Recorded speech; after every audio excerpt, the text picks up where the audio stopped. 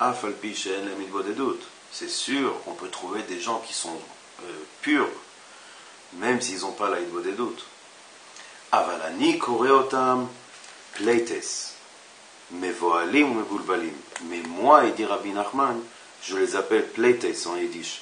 Ça veut dire des gens qui sont, euh, qui sont euh, mevoalim, qui sont, on va appeler ça peureux, et mebulbalim, qui ont beaucoup de bilboulim, ils ont beaucoup de. Il n'y a rien qui est arrangé dans leur, chez eux. Pourquoi? Il dit Rabbeinu, il dit, il explique. Ou pitom, Mashiach et d'un coup, quand le Mashiach, c'est marqué que le Mashiach il va venir d'un coup. Alors d'un coup, quand le Mashiach il va venir, il va, il va les appeler. Et ils seront, ils auront plein de, ils, vont pas savoir qu'est-ce qu'il faut faire, ils vont pas comprendre. Avalanachno, mais il dit Rabbeinu, mais nous, on va ressembler comme à une personne qui est après un sommeil que sa, que son, que sa pensée, elle, est, elle, est, elle est bien, elle est calme. C'est-à-dire que quelqu'un, quand il se réveille, alors il est capable de commencer la journée, sa, tête, elle est bien où elle est. On dire comme ça, Rabbeinu, quand le Mashiach va venir d'un coup, alors nous, on va, comme si on vient de se réveiller, il n'y a pas de problème, voilà, on est là, salut Mashiach, d'accord, il n'y a pas de problème. C'est marqué, il faut savoir que quand le Mashiach va venir, c'est marqué qu'il va avoir un grand bilboul, un grand balagan dans le monde, les gens ne vont pas comprendre. Il va avoir plein du peuple d'Israël qui vont dire mais c'est pas lui, c'est pas possible, et il va avoir le bordel, c'est marqué que ça va être un truc. Mais il dira ben nous, non, parce que nous on a la des doutes. Il n'y a pas de problème. Ça peut être comme si on se réveille et on commence notre journée. Que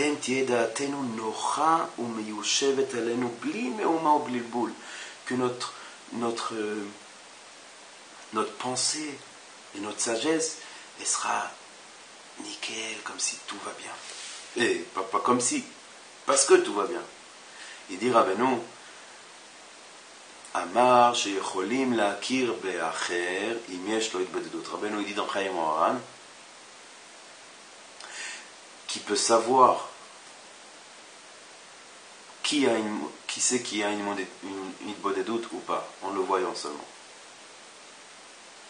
Il dit Rabbeinu, Shaya Medaber, il parlait avec un Imechad Mimna avec un, un des Neorim, ça veut dire un, un jeune.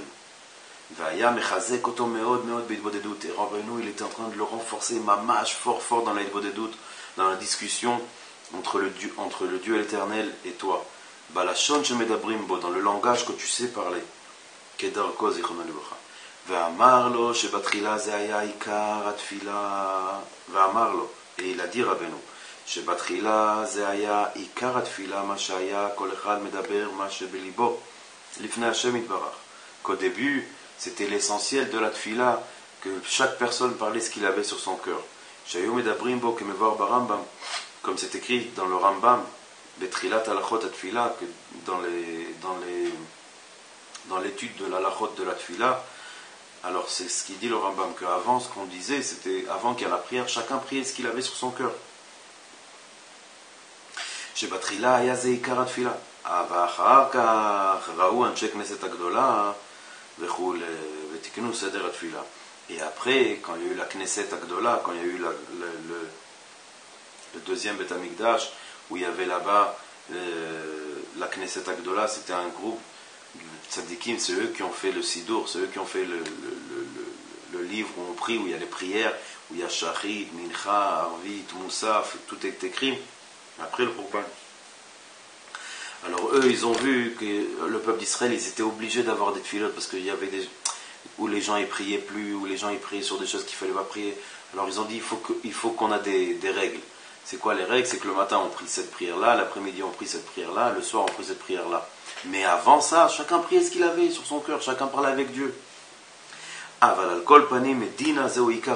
Mais il faut savoir que, du, que le din, que, que, d'après la vérité, ce qu'il y avait avant, c'est que l'essentiel de la tuila, c'est ce que tu dis toi Dieu, pas ce qui est marqué dans le livre.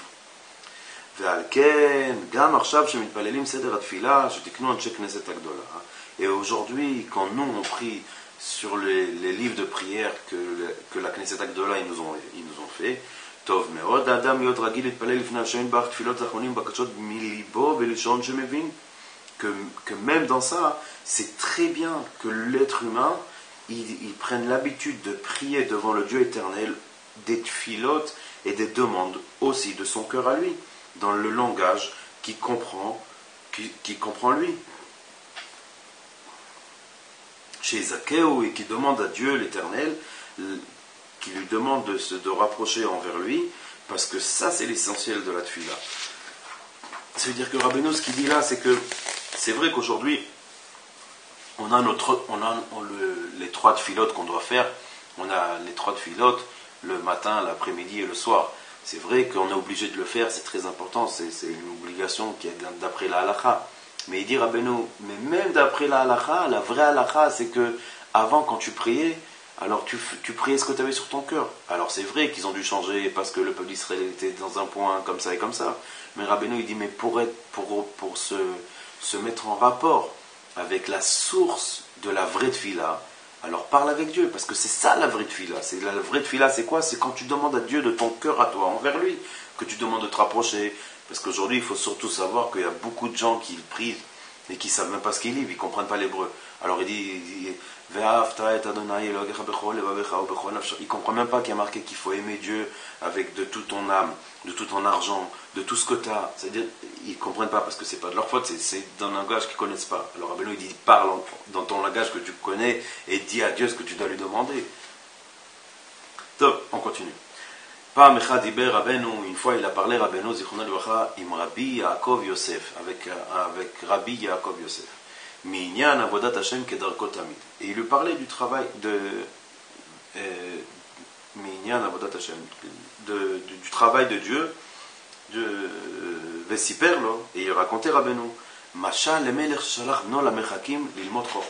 Il a donné un jour, il a raconté comme une histoire. Il a dit il y a un roi qui a envoyé son fils étudier loin, loin, loin, d'étudier là-bas des, des, des, des sagesses.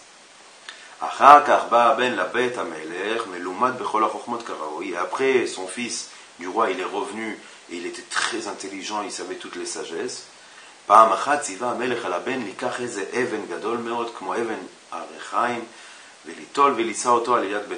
Et le roi, un jour, il a attrapé son fils, il a dit, écoute, maintenant que tu es si intelligent, fais-moi un plaisir. En bas, de, en bas, il y a une énorme, énorme, énorme pierre fais-moi plaisir, fais monter cette pierre sur le toit du château.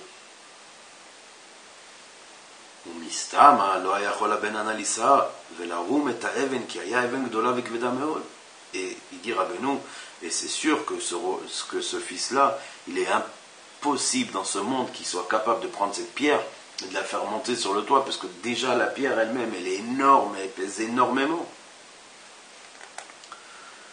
Et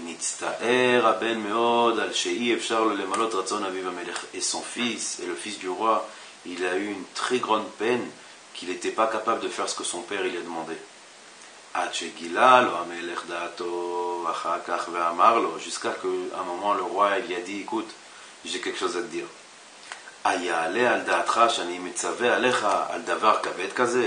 Est-ce que tu peux réfléchir ou tu peux penser que ce que je te demande, c'est que tu soulèves une pierre qui est si lourde que ça. La que tu prennes la pierre comme elle est maintenant, comme elle est dans cette grandeur-là énorme et ce, qui pèse autant, et de l'emmener en haut.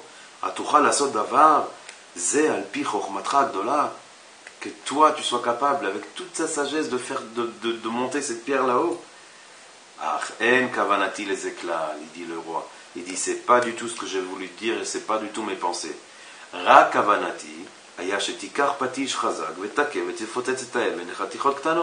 C'était quoi ce que je te demandais? C'était que tu prennes un marteau qui soit fort et tu commences à casser cette pierre et tu prends petit morceau par petit morceau et tu fasses monter la pierre. Et comme ça, tu seras capable de faire monter toute cette pierre sur le toit.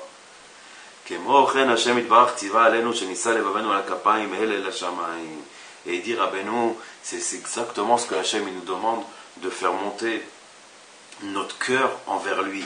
C'est vrai, ou ou et, dire à nous, et notre cœur, c'est un cœur de pierre. Et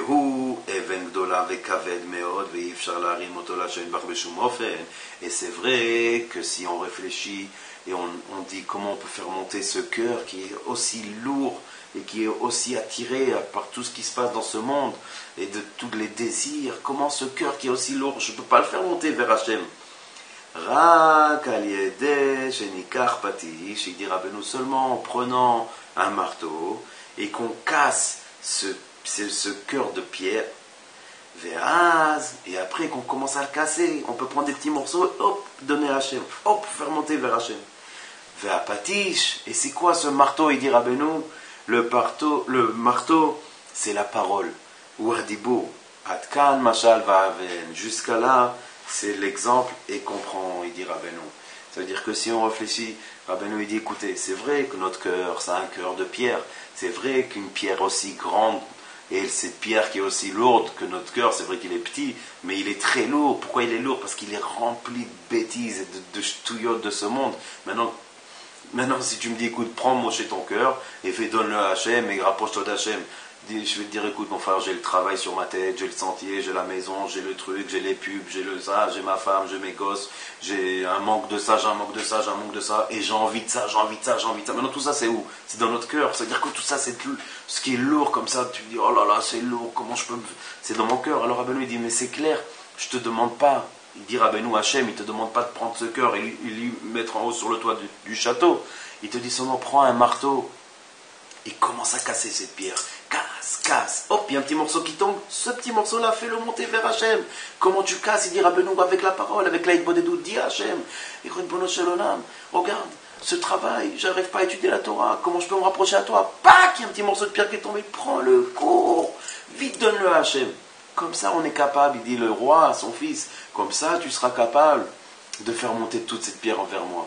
Et c'est important de savoir et se rappeler, pardon, que Rabbeinu il dit au début que le roi il a envoyé son fils apprendre toutes les sagesses. Ça veut dire que tu peux être le plus, le plus intelligent du monde. Tu peux être le docteur, tu peux être un avocat, tu peux être un, un, professeur spécial sur les, opérations du cœur ou le, d'être un opéra, des mecs qui opèrent la tête. C'est vrai, tu es l'homme le plus intelligent du monde. Mais ça ne change pas la, la, oufda, ça ne change pas la chose que pour casser ton cœur, c'est-à-dire pour casser la pierre qui est autour de ton cœur, c'est pas la peine d'être intelligent. Il faut seulement parler avec Dieu et lui dire Ribono je veux me rapprocher de toi. Ribono j'ai des désirs envers toi. Ribono ou peut-être le contraire. Ribono Shalom, j'ai rien du tout envers toi. Ribono Shalom, j'ai vraiment pas envie de faire tes mitzvot. J'ai vraiment pas envie d'étudier la Torah. J'ai vraiment pas envie d'aller à Ouman Rosh Hashanah. J'ai vraiment pas envie, mais pourtant tu le demandes. Alors fais-moi comprendre pourquoi. Ou essaye de m'enlever un petit morceau de pierre pour que mon cœur, je puisse l'entendre et, aussi parler ce qu'il a aussi lui sur son cœur, sur mon cœur. Parce que nous, on, a rempli notre cœur de pierre, c'est-à-dire que ce qu'on écoute, nous, c'est pas notre cœur, c'est la pierre qui est autour du cœur. Mais si on casse la pierre, pac, pac, pac, un jour, on va découvrir ce cœur. Et ce cœur, c'est c'est tout Hachem, c'est tout pour Hachem, c'est le travail de Dieu. Alors Bezrat Hachem, espérons que si Dieu veut, on se renforce dans la parole, on se renforce dans ce marteau et on commence à casser un petit morceau de pierre, un petit morceau de pierre. Et Bezrat Hachem, il qu'on arrive à découvrir notre cœur. Iratzon, il que ce shiur soit la réussite de tout le peuple d'Israël. Et cette fois-ci, je ne dirais pas que je dirais pas que c'est pour la réussite de Yoram, Daniel Yitzhak Ben Simcha, et je ne dirais pas que ça soit pour son mariage. Et je ne dirais pas qu'il faut qu'il se marie le plus vite possible, parce que je le dis à chaque fois. Alors, Nanar. Retrouvez les cours des Chavirim Nanar sur le site du Keren Rabbi Israël, nachmanneumann.com.